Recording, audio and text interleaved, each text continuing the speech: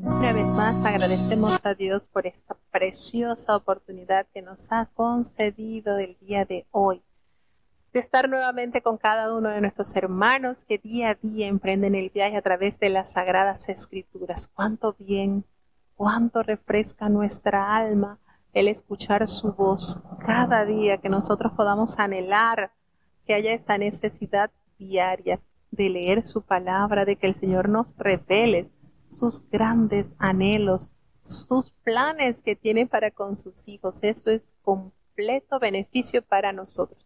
Vamos ya a emprender nuestro viaje a través de las Sagradas Escrituras. Hoy estamos a domingo 11 de junio del año 2023. Gracias a Dios por esta oportunidad. Vamos entonces a elevar nuestra plegaria a Dios para dar inicio entonces al programa del día de hoy. Querido Padre Celestial, Dios de eterna bondad, de rica y de abundantes misericordias, delante de tu divina presencia estamos, Señor, te adoramos, te exaltamos, porque solo tú eres digno de toda honra y de toda gloria. Señor, ¿a quién iremos? ¿A dónde iremos? Si solamente tú tienes palabras de vida eterna y hemos entendido que tú eres el Cristo, el Hijo del Dios viviente. Señor, tu palabra nos santifica y por eso día a día procuramos, anhelamos conocerte más a través de tus escrituras. Ayúdanos, Señor, cada día.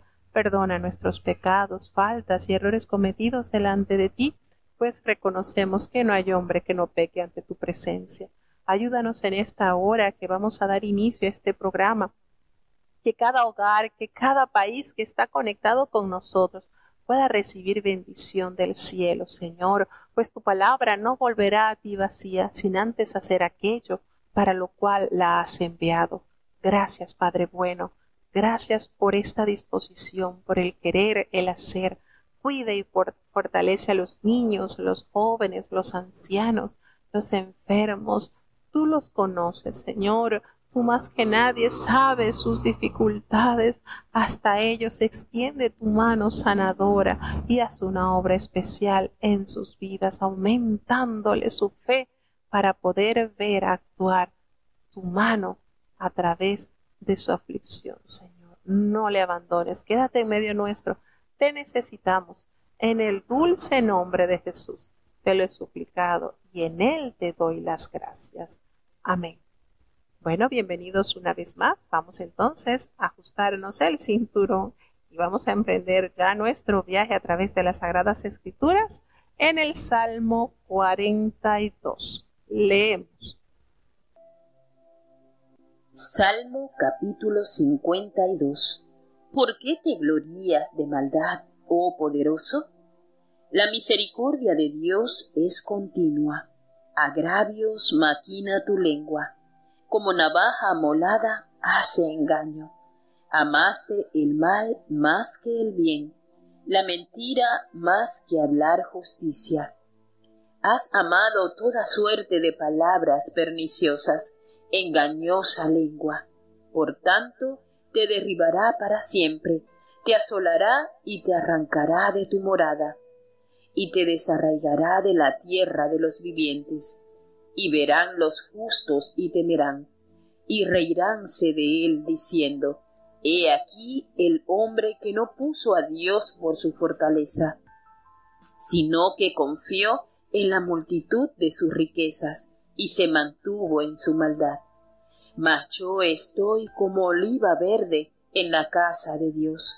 En la misericordia de Dios confío perpetua y eternalmente. Te alabaré para siempre por lo que has hecho, y esperaré en tu nombre, porque es bueno delante de tus santos. Bueno, a partir del Salmo 51 retomamos nuevamente los salmos escritos por David. Y este Salmo 52 aparece como el fin del impío y la paz del santo. Es un masquil de David cuando vino Doeg el Edomita y dio cuenta a Saúl diciéndole, David ha venido a casa de Ahimelech. Y recordemos esa historia que nos cuenta, que nos narra el libro de Samuel, cuando él asiste a esa ciudad de Nob y Ahimelech, sacerdote, le da los panes de la proposición para que ellos comieran y también le entrega en sus manos la espada de Goliat, el filisteo, a quien David había vencido en el campo de Ela. Resulta que inocentemente Ahimelech hace todo este bien con David, pues es bien sabido el amor profundo que tiene David por el rey y su lealtad. David, por supuesto, no le había comentado la situación que él estaba experimentando con el rey Saúl al estar huyendo porque Saúl procuraba matarlo. Sin embargo, allí estaba aquel hombre, Doeg el Edomita, y todo lo que él observó fue y se lo contó a Saúl. Saúl llega con su ejército, da la orden de matar a todos los sacerdotes y por supuesto ninguno de los que conforman el ejército de Israel se atrevieron a remeter contra los sacerdotes, contra los que vestían el efod. Y Doed y Domeo, sin duda alguna, se gozó en esto porque lo hizo, mató 85 sacerdotes y esa ciudad fue del todo destruida. Entonces, en esta situación, experimentando esta terrible experiencia al conocer David de lo sucedido, pues se da a conocer porque hay un solo hombre que escapa de este lugar donde habían asesinado a tantos sacerdotes. Y fue Abiatar. Y Abiatar entonces le narra todos estos acontecimientos a David y David le pide que se quedara con él, pues él lo iba a proteger. Y entonces en esta situación, en este panorama, David escribe este salmo, en el cual expresa la lengua suelta de Toe que dio lugar a la matanza de los inocentes sacerdotes, tal como lo revela en el libro primero de Samuel, en el capítulo 22 del versículo 9 al versículo 23. Hace la referencia a cuánta maldad maquina su lengua, pues es como una navaja afilada que amolada hace engaño y amó el mal más que el bien, pues al arremeter contra estos hombres no le importó, no tuvo la más mínima y más mínimo remordimiento. La mentira la ama más que la justicia. Y todo eso se produjo gracias a la maldad en el corazón de Doeg, el idumeo, y por supuesto al espíritu de error y de maldad que estaba también acampando en la vida del rey Saúl. Has amado toda suerte de palabras perniciosas, engañosa lengua. Qué manera, ¿verdad, David, de describir cuánto odio, cuánta maldad se produjo a través de este hombre que fue a contar lo que no era, porque también mentiroso.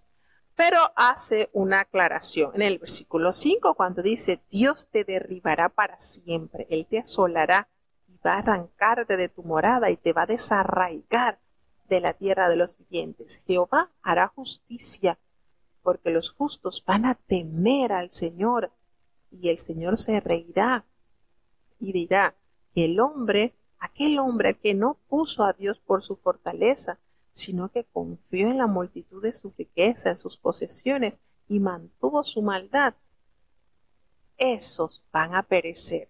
Y hace ese paréntesis, abre ese paréntesis hermoso en el versículo 8 cuando dice, yo estoy como oliva verde en la casa de Dios.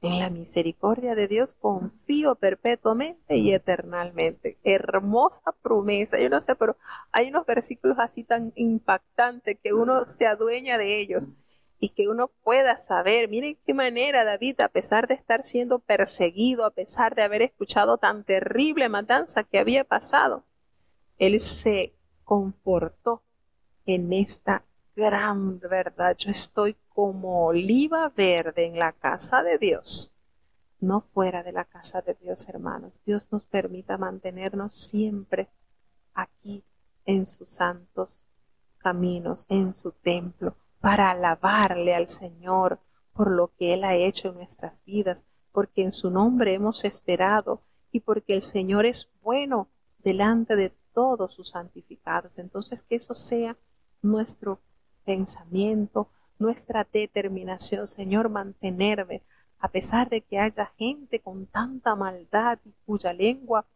haga engaño y mentira, permíteme permanecer en tu templo como una oliva verde. Siempre personas malvadas habrán, pero el Señor su justo pago se lo dará. Y en esto debemos reposar y debemos de confiar diariamente. Precioso salmo, así que seguimos avanzando porque esto está especial. Como dice el hermano Ali, esto es una deliciosura. Salmo capítulo 53 Dijo el necio en su corazón, no hay Dios. Corrompiéronse e hicieron abominable maldad. No hay quien haga bien. Dios desde los cielos miró sobre los hijos de los hombres, por ver si hay algún entendido que busque a Dios. Cada uno se había vuelto atrás, todos se habían corrompido. No hay quien haga bien, no hay ni aun uno.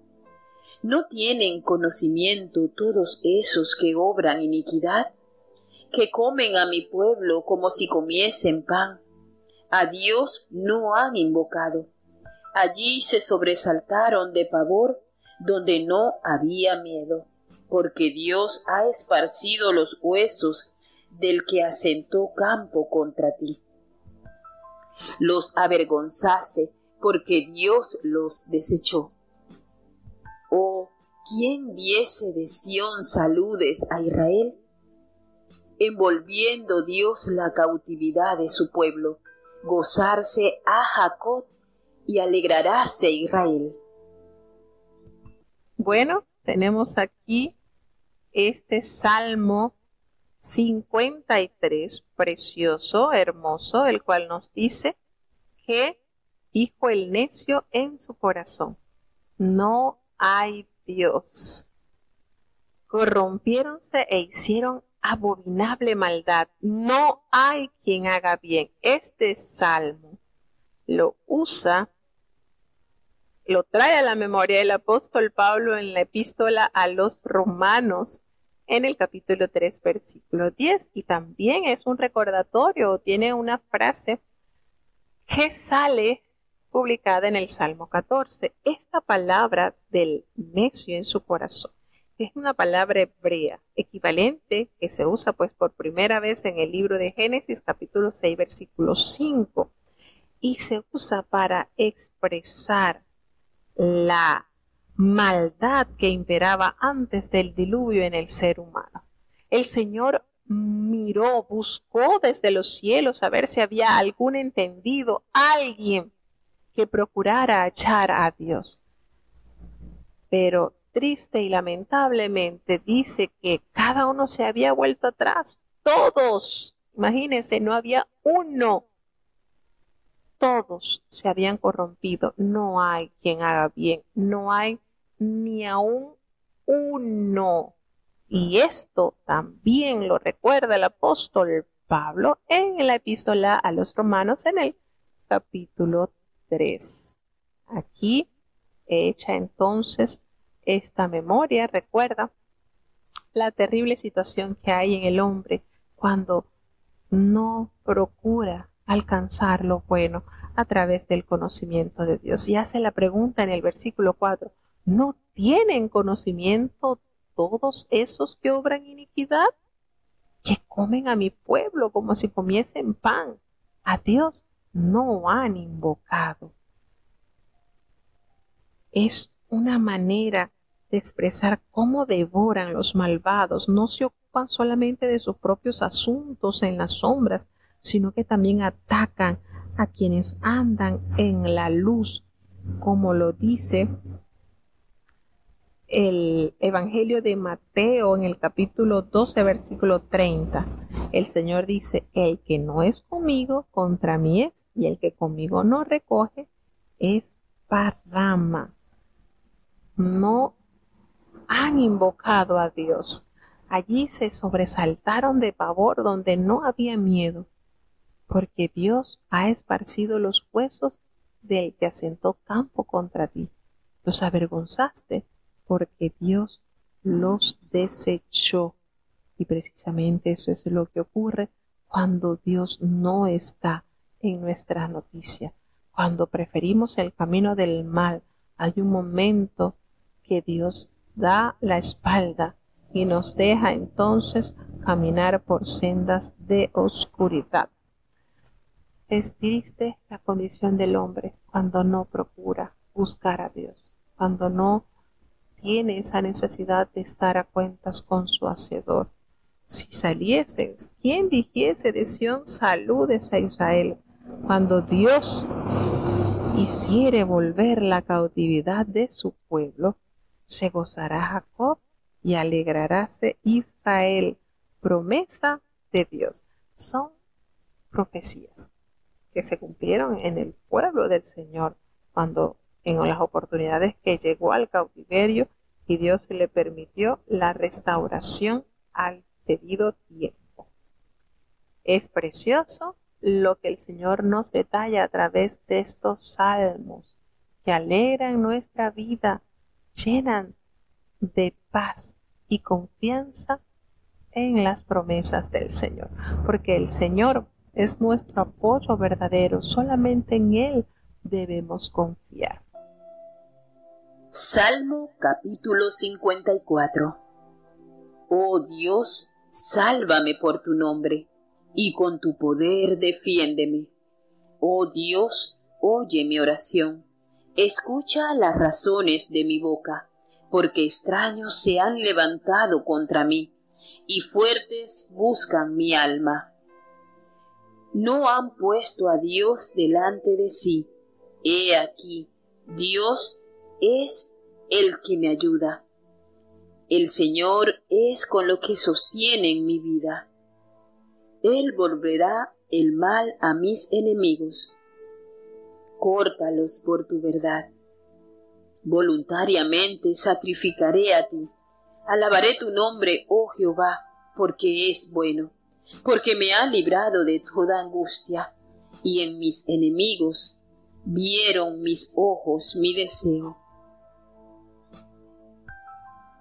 tenemos el Salmo 54, que es respuesta a la oración para ser liberado de los adversarios.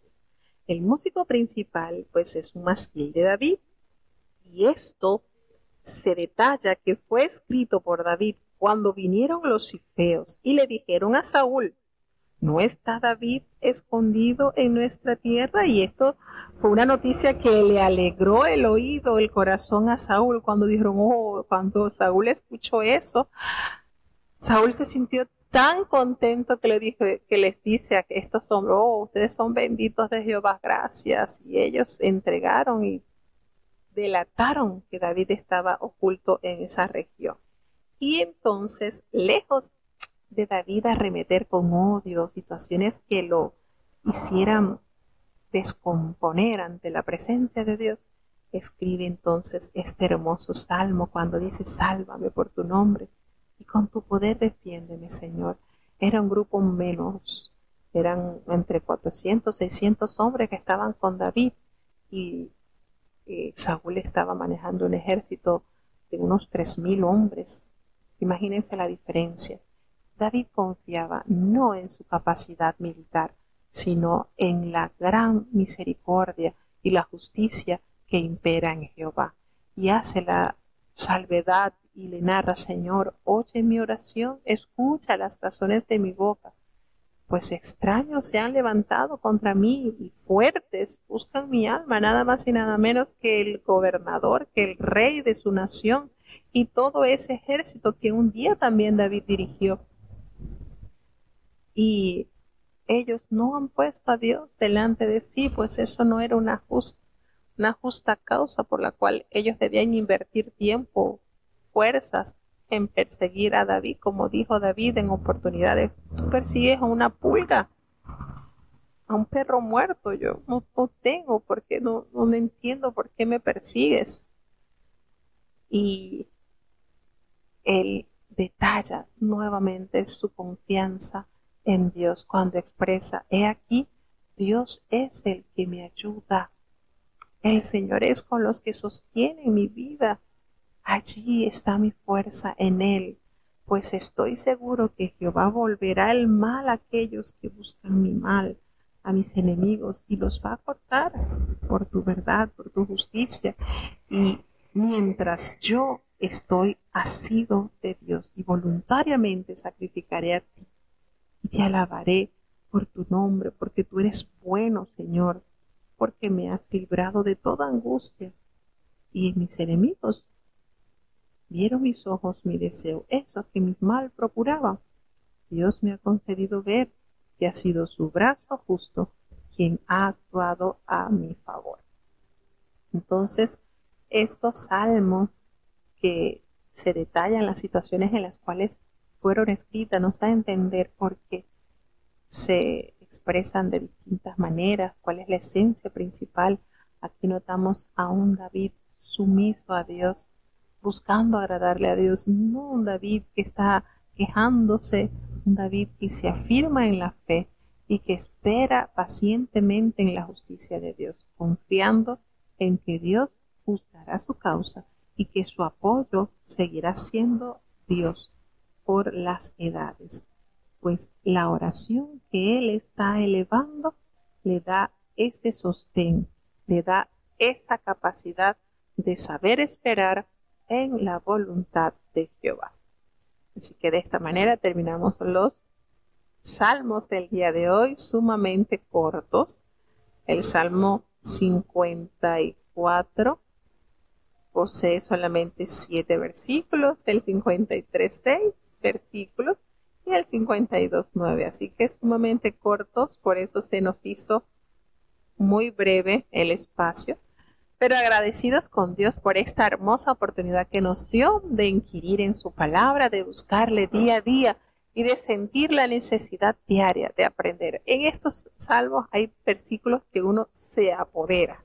Me encantó este versículo donde el Señor, donde David expresa que Él será como una oliva verde en la casa de Dios, porque en la misericordia de Dios está confiado perpetua y eternalmente. Del, ese fue del Salmo 52. Me encantó. Hay versículos que envuelven a uno y uno se apodera. Del Salmo 53 es también bastante corto. Da tristeza, pues, en el Salmo 53, cuando expresa que Dios desde los cielos miró sobre los hijos de los hombres por ver si hay algún entendido que buscar a Dios. Pero no halló a nadie, ninguno. Qué pesar, de verdad. Que Dios en estos tiempos nos pueda ver con ojos de amor y podamos tener ese sello del temor y la redención en Dios. Y en el Salmo 54 hay, un, hay versículos lindos también que detallan cómo Dios es el que me ayuda.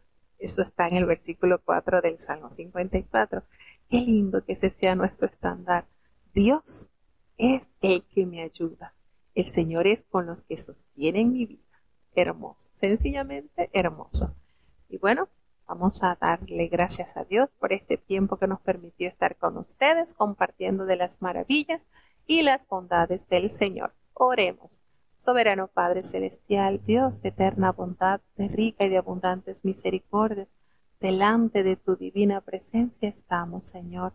Te adoramos, te exaltamos, te bendecimos, Señor, porque tú eres grande, tú eres fuerte, tú eres eterno, tú eres nuestro escudo nuestro escondedero. Eres tú, Señor. Gracias, Señor, por todos los bienes recibidos, por tu mano que no se ha cortado para con nosotros. Sostienes nuestra vida, Señor. Gracias. Ayúdanos, Señor, cada día a reconocer nuestros pecados y corregirlos, cambiar, ser como tú quieres que seamos, Señor. Fortalécenos, Padre, diariamente a través de tu palabra Bendice cada oyente que ha compartido con nosotros, los niños, los jóvenes, los ancianos, los enfermos, Señor. en tus manos están, Padre. Confiamos en tus promesas.